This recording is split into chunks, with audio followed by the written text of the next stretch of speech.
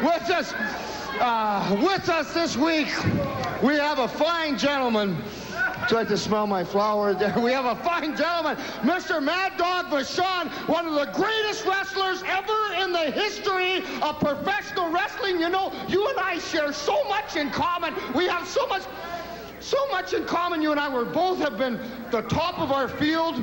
We're both tremendous athletes. We're both suave. We're both debonair. We're both handsome. We're fine gentlemen. We are. I really have a lot of admiration for you. Uh, who is this, this uh, telephone pole behind us here?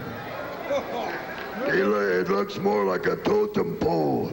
To oh, Mr. Vachon. You know, some people, Rowdy, they have a, some people, they, when they break a bone, some people are inclined to never yield up. Well, that's what's happened to Ace. Uh, how would you How would you feel if you had a broken bone in your body somewhere that, that maybe like uh, that would never heal up, maybe like your neck?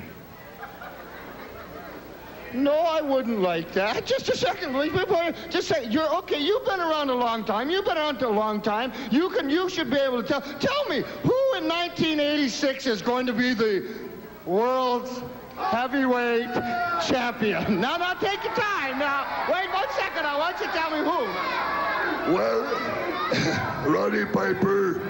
I. I know that you're a very good wrestler, and there's no doubt that you think you're the best also. Oh, yes, sir. Everybody like to blow their own trumpets, right? but I would take that the two, the tag, had, right now I don't think nobody can touch Hulk Hogan.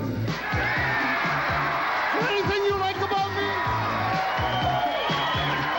Whether you like it or not, I predict that in 1986, Hulk Hogan will still be the World Heavyweight Wrestling Champion.